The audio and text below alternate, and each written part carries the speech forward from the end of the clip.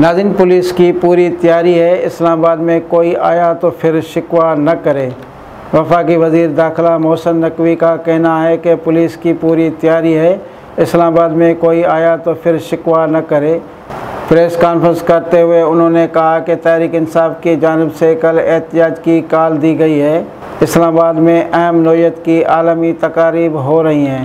पहले ही दफ़ा एक सौ चालीस नाफज है, कल तक का वक्त है। उन लोगों को दोबारा सोचना चाहिए।